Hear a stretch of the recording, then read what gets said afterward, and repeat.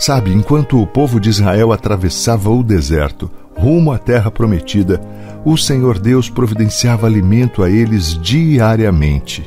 O maná caía do céu ao amanhecer, todos os dias, exceto aos sábados, quando eles deveriam comer do que recolhessem no dia anterior.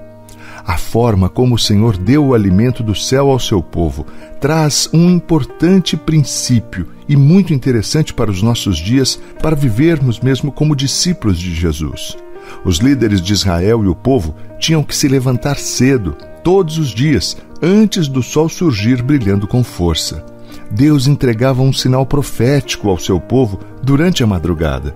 Ele estava ensinando ali um hábito e também um princípio. Você já percebeu que, se não oramos logo cedo, dificilmente oraremos durante o resto do dia? Sabe, entregar as nossas primeiras horas a Deus, talvez antes mesmo do sol nascer, é uma entrega de primícias do nosso dia. O maná só caía do céu pela madrugada. A verdade é que precisamos do alimento da palavra e do Espírito todos os dias, e esta provisão está disponível para mim e para você.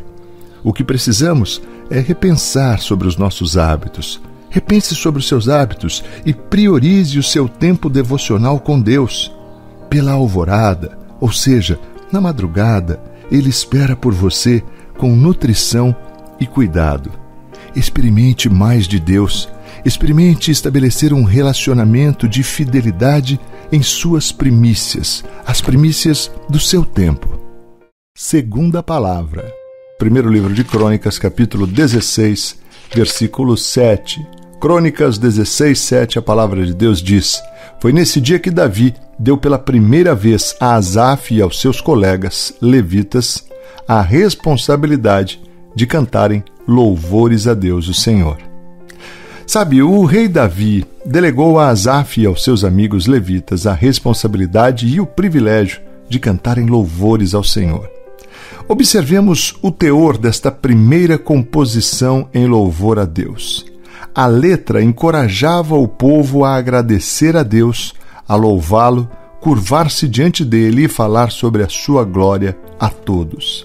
Eles deveriam anunciar a sua grandeza, contar aos outros os seus feitos, ter orgulho do seu nome, lembrar dos seus milagres e buscar sua ajuda. Asaf e os levitas aconselharam o povo a ficar sempre na presença do Senhor. Por quê? Porque, como está no versículo 16, ele cumpre as suas promessas. Como está no versículo 25, ele é grande e merece todo o nosso louvor. No 26 está que ele fez os céus. No 27, diz que ele está cercado de glória e majestade, poder e beleza enchem o seu templo. Já no versículo 34 diz que ele é bom e o seu amor dura para sempre. Sabe, na carta de Paulo aos Efésios, capítulo 1, lemos que fomos criados, escolhidos e adotados para o louvor da sua glória, como está no versículo 6 do primeiro capítulo de Efésios, e especialmente em louvor à sua graça. A letra da música de louvor a Deus, composta por Asaf, pode nos ajudar a cumprir esse nosso propósito de vida. Convide hoje a sua família a dedicar alguns momentos adorando ao Senhor. O nosso Deus merece ser adorado. Diga palavras de adoração, diga palavras de bênção, palavras que exaltem o nome do Senhor. O seu coração será tomado de profunda alegria porque não há nada que possa dar mais prazer ao ser humano do que adorar ao seu Deus. Creia nesta palavra. Vamos orar. Deus, em nome de Jesus, nós queremos anunciar mesmo os seus feitos, declarar as suas grandezas e as suas maravilhas, assim como aprendemos neste texto de hoje, Pai. Queremos lançar mesmo palavras de adoração ao Senhor, dizer que somos totalmente dependentes do Senhor e que cremos, Pai, na tua misericórdia, no teu favor e na tua graça.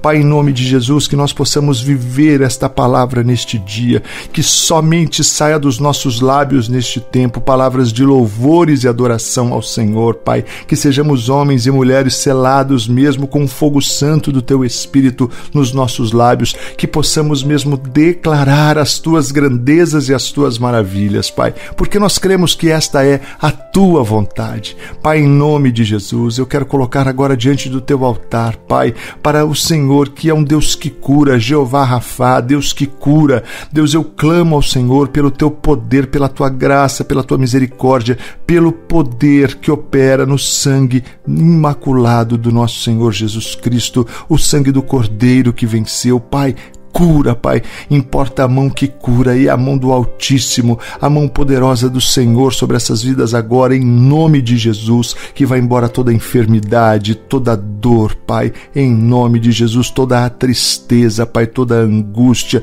todo o medo, toda a depressão, em nome de Jesus.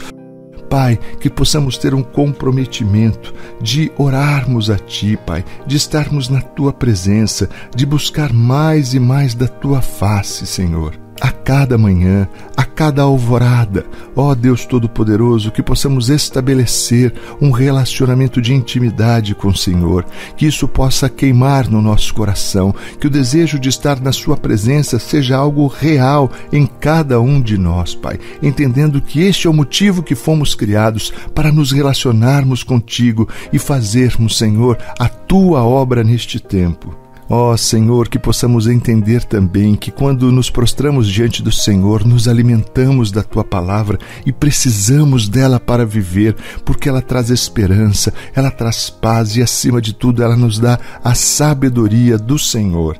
Deus Todo-Poderoso, eu quero orar agora também, Senhor, pelas famílias enlutadas, Pai. Guarda-os, Pai, como menina dos teus olhos, os proteja, Senhor, restaura a esperança, restaura, Senhor, a alegria, Pai, em nome de Jesus, que a tua paz possa repousar sobre cada uma dessas vidas. Ó Senhor, pedimos também pelos enfermos nos hospitais, aqueles que clamam pela cura, aqueles que estão sofrendo neste tempo com dores, Papai, em nome de Jesus, derrama o bálsamo santo, Pai, que cura, que acalma, que refaz, que transforma todas as coisas. Esse é o desejo do meu coração neste tempo. Eu oro, Pai, agradecido no nome poderoso e bendito Jesus, nome que é sobre todo nome. Amém e amém. Graças a Deus. Agora precisamos muito da sua ajuda. Não esqueça de curtir o vídeo e compartilhar, amém? Isso é muito importante, vai nos ajudar a alcançarmos mais vidas. Se você ainda não se inscreveu, inscreva-se agora no canal Anima Gospel e no nosso parceiro Palavra do Pai. Ative também o sininho para receber as notificações em cada vídeo postado. Deus te abençoe.